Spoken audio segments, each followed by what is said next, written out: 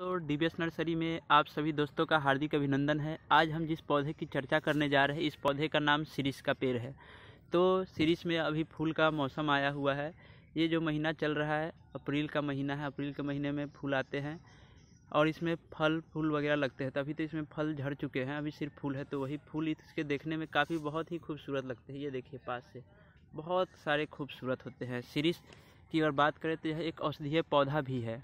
जी हाँ ये आपको ज़्यादातर सड़क के किनारे खेत के मेढ़ों पे आसानी से मिल जाएँगे।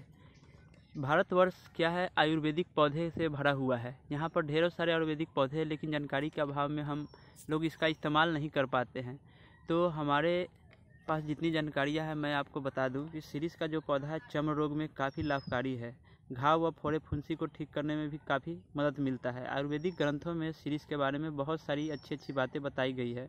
सीरीज़ जो होते हैं, तीन प्रकार के होते हैं, लाल सीरीज़, काला सीरीज़, सफ़ेद सीरीज़।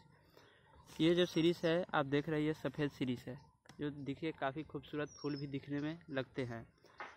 और भी अगर इसके विस्तार से बात करें तो सफ़ेद सीरीज़ की जो छाल होता है, उसका प्रयोग करके जोड़ों के दर्द में काफ़ी लाभ ले सकते हैं, और यह खून का बहना को रोकता है। इसके अलावा और भी ढेर सारे बहुत से फ़ायदे हैं।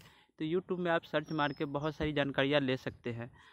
और इतना ही नहीं डीबीएस नर्सरी में आप किसी भी प्रकार के पेड़ पौधे आसानी से घर बैठे मंगा भी सकते हैं। तो आज हम जिस पौधे की चर्चा कर रहे थे, यह सीरीज़। हमने सोचा कि चलिए आपको कुछ इसके बारे में विशेष जानकारी भी बताते चले। आपने अपना कीमती समय दिया, इसके लिए बहुत बहुत धन्यवाद।